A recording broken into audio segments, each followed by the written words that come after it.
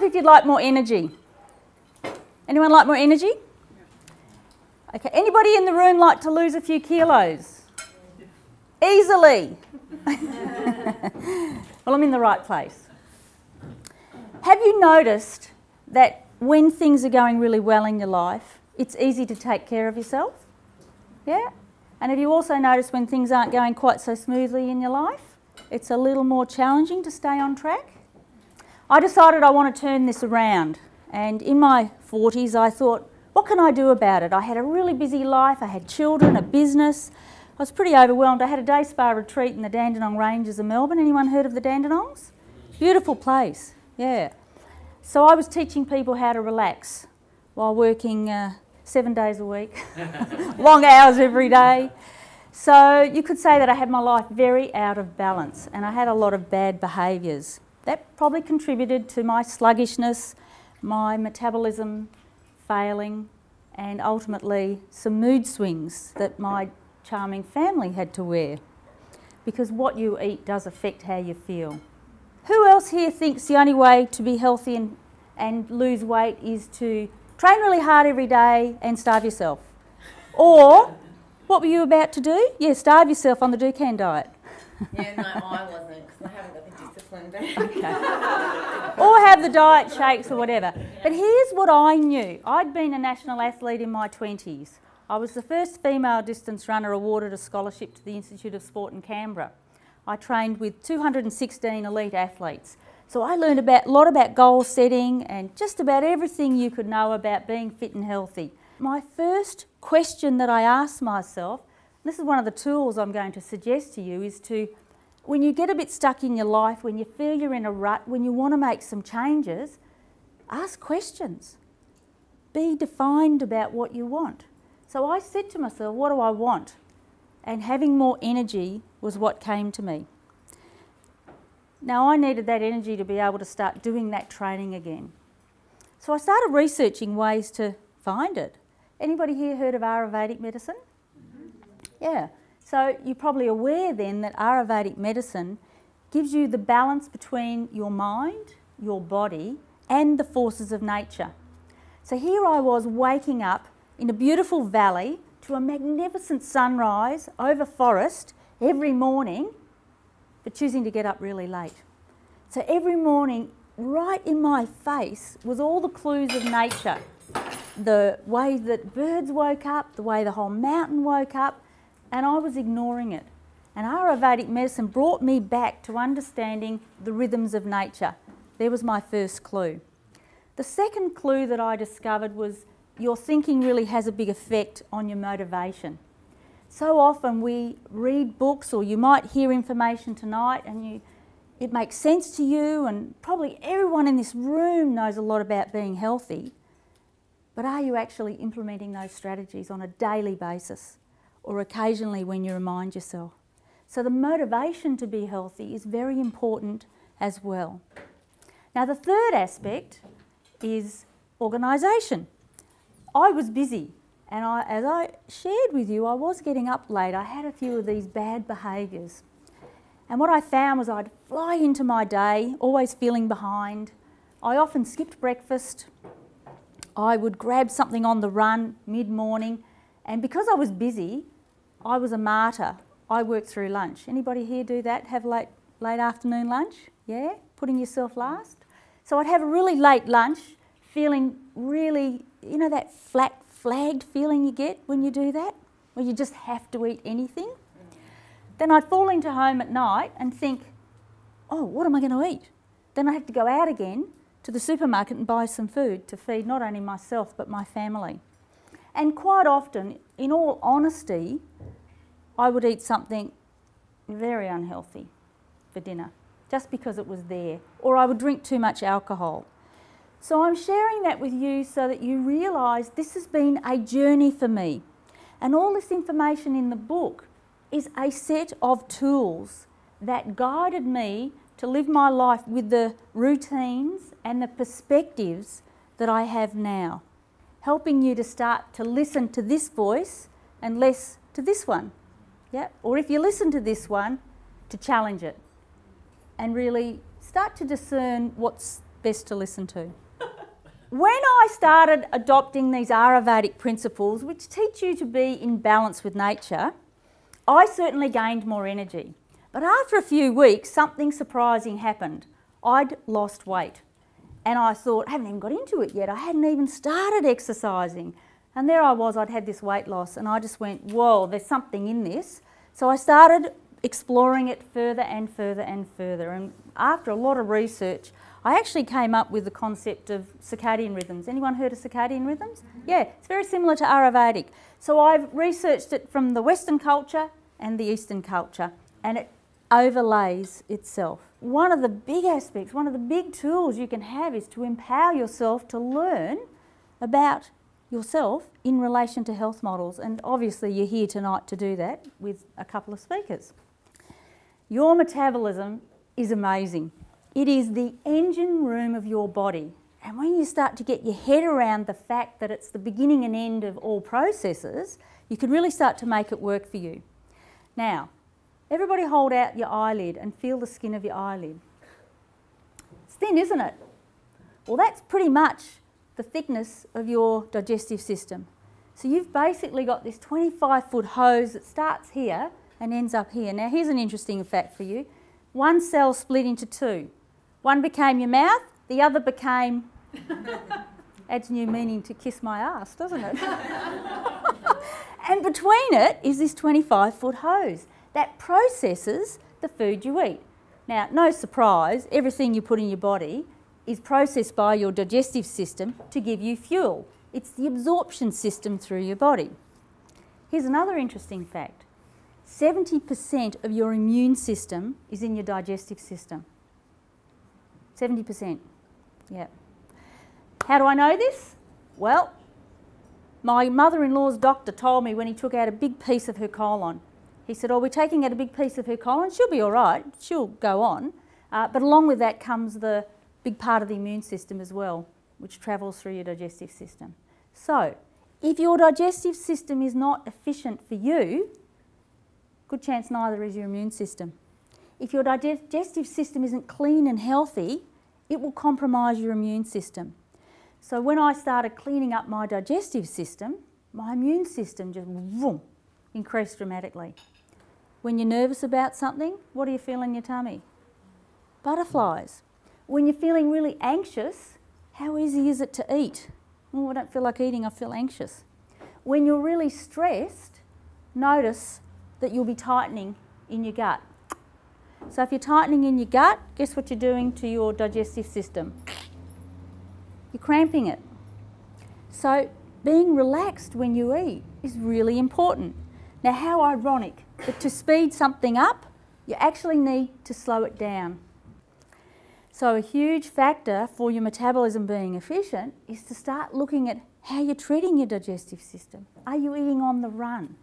Do you sit at your desk all day and eat? Have you ever actually noticed when you do that? You think you haven't eaten? You go back for more? Next time you, you say, oh, I haven't eaten. It's not conscious eating.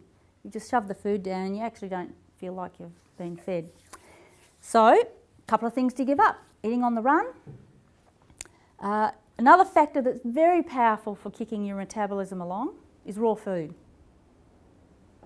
Now, cooked food will have enzyme, will have the vitamins and minerals in it, but the cooking process kills the liveness in it, the, the, the life force basically. So I encourage you to go back to eating some raw food. So if you're having poached eggs, you know how the chefs used to put the parsley on the plate and they don't now? Ask for parsley. Yeah. Ask them to chop it up put it all over your eggs.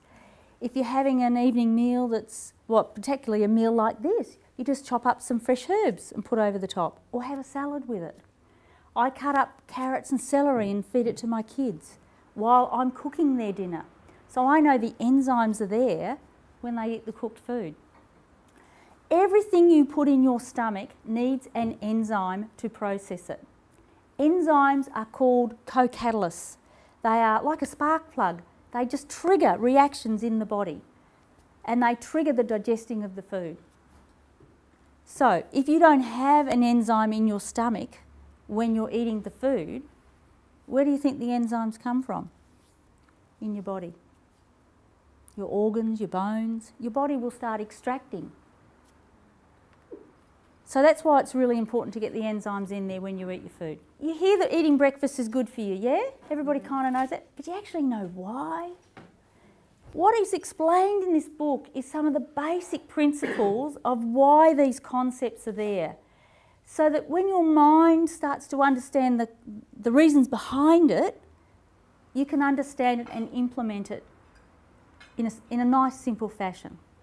So, imagine your digestive system like a clock. And this clock is connected to the sun. So when the sun rises of a morning, it's gaining momentum and it's actually waking up every cell in your body. How does it do that? Hormones. You have wake up hormones. Hormones that literally wake you up. Now, I don't know in your day to day life whether you experience it, but think of a time you've been camping or staying out in the bush. Have you noticed that five in the morning, whoop, wake up suddenly? Anybody experience that? You may not get up, but you notice that sudden wake up? That's those wake up hormones being triggered by the light of new day. This is nature's template so that we, and we are animals, actually. I know we like to think we're very sophisticated, but when you strip away all technology and we're out in the bush, we're fending for ourselves just like the other animals. So this template triggers us into those instincts. So those wake up hormones are designed to get you up and going. Now, you've been fasting throughout the night. You haven't been eating any food. You're also dehydrated. So if you were to imagine your digestive system like the furnace of a steam engine, it's got burnt out coals in it. Now they're not going to light a new fire without taking those coals out of the engine. We're exactly the same. So your body actually needs a little bit of a detoxification first thing of a morning. It needs a cleansing drink. It certainly needs hydrating. So here's the recommendation a raw juice. Have a raw juice first thing of the morning. Or have a barley green shot or a wheatgrass shot or a glass of hot water with lemon juice. Now you're probably all aware lemon juice is good for you. Lemon juice is very alkalining when it mixes with stomach acid and it's great for cleaning out the toxins out of the body. So these sort of morning activities, these morning rituals, hydrate your body, start moving the toxins out of your body. If you're having a raw juice, you're filling your body with enzymes right at the start of the day, very nourishing. And because you've been fasting through, throughout the night, in my case, when I skipped breakfast, I'd have a whopping headache at 10 in the morning. That headache was a detox headache. Those toxins were just trying to find their way out of my system. Now, when the sun goes down, it triggers other hormones. Melatonin. Melatonin's the relaxing sleep hormone. You're actually meant to be tired at the end of the day and energised in the morning. Makes more sense to me. I, I never used to be like that, of course. I used to be a night owl. So, early evening, I eat my evening meal as early as possible. Now, I know in busy lifestyles that can be a bit tricky, but I'm also a bit particular about what I eat in that evening meal. And the reason why is my metabolism's at its slowest because the sun's gone down, you've got melatonin in your body, slowing everything down. So I'm preparing really for a night's sleep. That's what's coming. That's what nature's telling you you need. So there's a couple of things here. I don't really want to go to bed with a full stomach of food because in that deep sleep phase, I want to be healing my body. Now, interestingly enough, when you're in deep sleep, and when I mean deep sleep, that's that dreamless sleep. Now, science has absolutely proven that before midnight sleep is the most beneficial sleep you can have. Anyone in the room hiding? I used to be an absolute night owl and regularly miss this deep phase of sleep. And I was eroding my vitality. I was always waking up sluggish. I now find that when I get the midnight, the before midnight sleep, I'm awake very early, very alert, ready to go. And the people who wanted time, I'm going to show you how you can have more time in just a moment. In deep sleep, we lose all our senses, yeah? We know that. That's why we need smoke alarms. we don't see, we don't hear, we don't feel. People can touch you and you just don't wake up in that deep sleep phase, yeah? All the senses are gone. So there's a concept that that's where your soul leaves the body, yeah? And goes to be, I don't know, have a rest, wander around, whatever it does during that phase. And then when you start waking up, when you start having dreams again, it's back and all your senses are back you start to smell again, you start to hear, you, you literally start to feel the person next to you, you feel the bed, you're still in your sleep phase, but it's much, much lighter. So that's just a concept for you to think about. But isn't it interesting that there, there is that need for that very deep healing rest? When I was a night owl and going to bed at one in the morning on a regular basis, I never got that feeling of absolute rest. And what I found was my moods were often grumpy. Can you remember back to being a child and having that head on the pillow and someone wakes you up and you say, But I've only just gone to bed? It's like you've just completely left. Your mind's left, everything's left, and rejuvenated and come back. So that's the value of that, that sleep. Now, because I now get that before midnight sleep, when I wake up very early in the morning, when those hormones hit and wake me up, I'm wide awake. So, guess what I do? anything I like. I get up, I meditate, I go for a walk along the beach, I go for a run, I go to the gym, I write. But I do whatever I like. I certainly don't wake my children up. so I gained more time. That's where I gained more time. And I gained time at the front of the day, me time. And the other way, the reason I was a night owl was because I worked such long hours and I wanted time for me. And so I'd put the children to bed and then think of time for me. But it was inefficient because I was tired and I'd had too much wine by that stage. so all I can suggest to you is to try this 24 hour, hour clock. There are the six time frames within it. They are designed to show you what to eat and when, which suits each six hour time frame or four hour time frame. It also shows you what activities best suit each time frame. So when, you're, when you've got melatonin in your body and your body's trying to relax, if you're trying to do a lot of strenuous activity, well, guess what? You're going to use a lot more energy. You're going to be going against the grain. Here's what I noticed with this clock. It wasn't long that I noticed I was sleeping better. I had a better mental faculty. My moods were better. The body weight started falling off me. Look, in general, I felt in sync. And what I noticed was when I stepped out of this model, which I occasionally do if I party or Christmas time, I move back to it really fast because I miss that feeling of being in sync, of feeling a flow, of feeling the balance. And unless you experience it, you're probably not going to really understand what it all means. One of the other models that I then layered on top of this was very much about the motivation. Now, we are thinking, feeling beings. Everything you think creates a chemical reaction in your body. Tears of sadness and tears of joy have been analysed and they have a different chemical composition. Amazing. Yeah. So the neurology of your brain is very powerful. Now, it's so powerful that when you chew food thoroughly in your mouth, the messages go up to the brain of what's there and the brain sends messages to the stomach to say, This is what's coming, get ready. It's so interconnected. So, when you start to understand how powerful your thinking is, and let's face it, try telling a child who's just had a nightmare that there's a monster in their room, that the monster's not real. They're convinced. The body actually takes the messages from the brain, not the other way around. So, when you start to understand this thinking, you realise that you can actually start speeding your metabolism up with lighter thoughts, happier thoughts, more empowering thoughts. But I know what you might be thinking. You might be thinking, well, Lizzie, how do you change your thinking? Well, there are some methods in my book on how to do it, and with practice.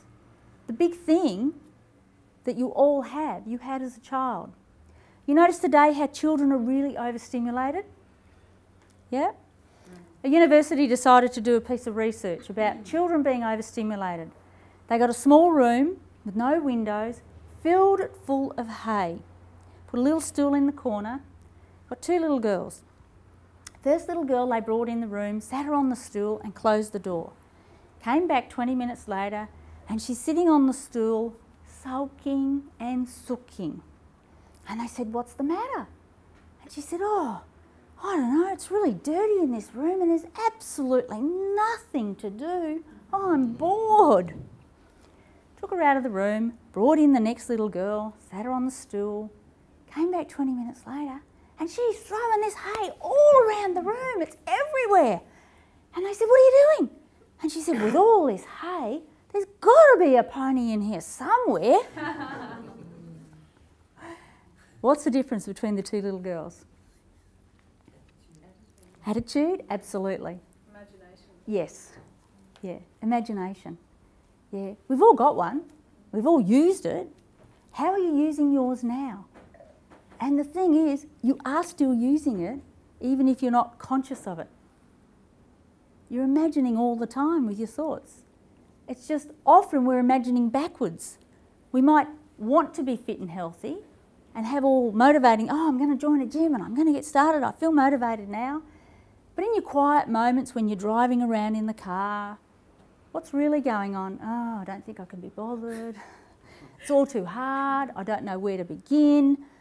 You know, I've had this weight on me ever since I can remember, so I've probably stuck with it for my life. And on it goes. You know the talk, don't you? Yeah, and it's not just about our weight, it's about a lot of things in our life. So, how's your imagination working in that sense? Too much in the pulling apart, the demotivating of something. All right, I'm just going to take a few little walks across this stage just so that you get a better feeling of this. And I want you to tell me what I'm thinking. Yeah? I'm not going to say anything.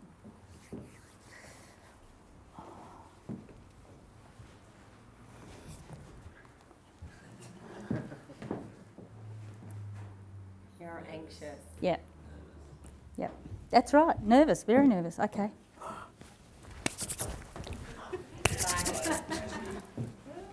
Okay.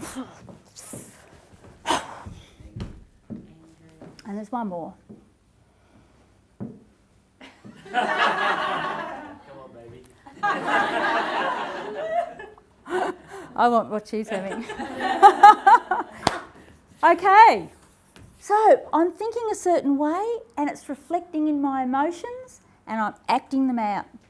You can read people very easily if you just start looking at how they're feeling. You can look at how someone's feeling and know what they're thinking, know what state of thinking they're in. Yeah?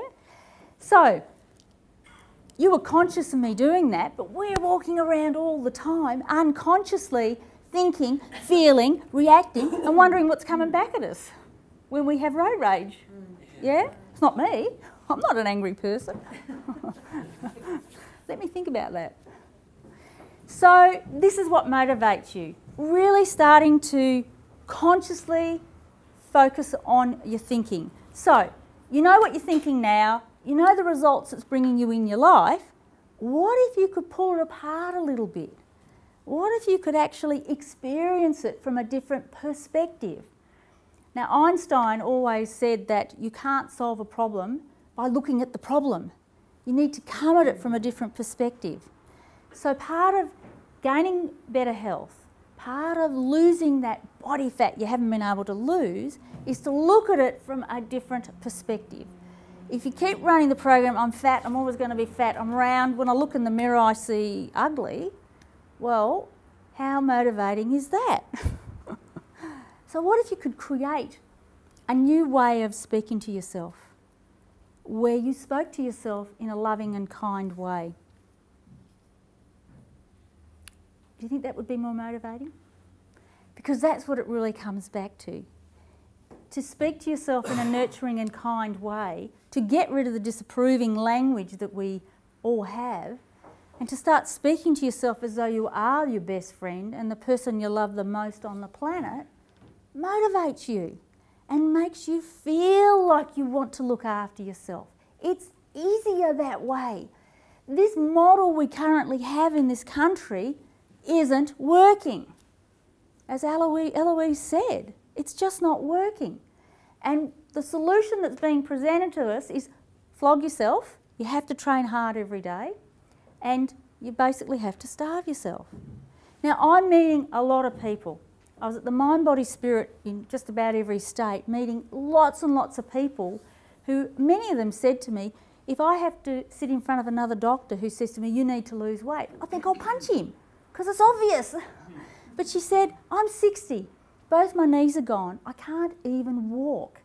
And I'm being told that if I can't exercise, I'm stuck with this. So she said, I give up. I gave up long ago. So guess what? That model's not working. When you start to learn that what you think is very powerful and you can change it, you just need to learn how. When you start to learn how to eat more effectively to nourish yourself, when your body's nourished, it's not as hungry. Hello, it's pretty simple, yeah? So you don't crave the crap food, basically. You need to become the change you want to see, but you need to see it and then step into it. So, to step into it, you actually need to let go of the stuff that doesn't match it. I just very quickly want to pass these around. These are very significant. When I found that I, my child had them, actually, I went, Oh, I'm having those. I was watching him play with them many years ago. These are lodestones, they're naturally occurring magnets. They're just polished up, so they're naturally occurring and they're magnetic. So, if you want to be fit and healthy, but you've got those negative thoughts or those defeating thoughts, then I'm going to pass this around. There's no way I can match that. I cannot put that together. The energy doesn't match. And we're all learning about energy today, aren't we, with all the books we're reading? But a shift of thinking, a shift of perspective, makes it happen quite easily.